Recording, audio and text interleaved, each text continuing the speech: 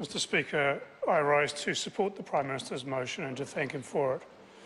The Green Party wishes to express our profound shock and sorrow at what has occurred and our sympathies to the victims themselves, to their families, to their friends, and to the lesbian, gay, bisexual, transgender, and intersex communities in Orlando and around the world.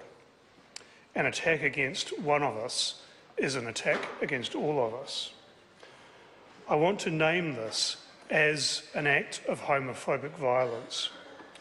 For those of us who are in the lesbian, gay, bisexual, transgender, and intersex communities, we know that just below the level of taunts and name calling and subtle prejudice, there is an undercurrent of violence. In this particular case, in Orlando, America's absurd gun laws have been a unique enabler for the mass murder that has occurred. But New Zealand has a history of homophobic violence also, sir. And one thinks for example, of Jeff Whittington, who just over 17 years ago was murdered in this town.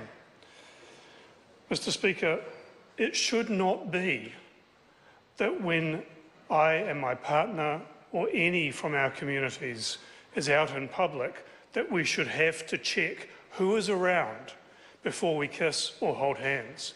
And yet, sir, it is so.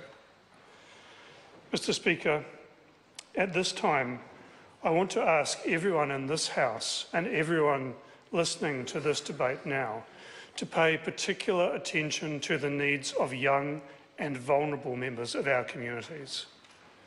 For older members of the gay community, for example, like me, we have the privilege of being able to choose whom we associate with. We have the relative privilege of being able to make ourselves as safe as we can be. But a younger person does not have that privilege, sir. They are particularly vulnerable, they need our support and they need our love right now.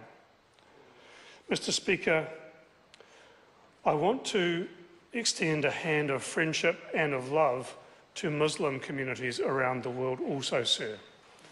We understand that what this man did is not representative of your communities and we seek relationships that are based on peace and mutual respect.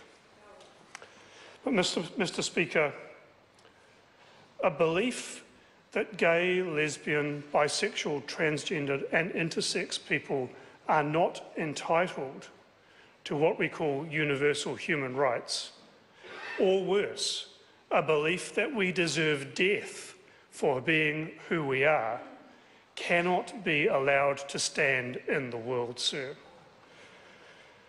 And in closing, sir, the Green Party and I hope this House commit ourselves to act against homophobia and homophobic violence, and indeed transphobic violence, wherever it occurs in the world.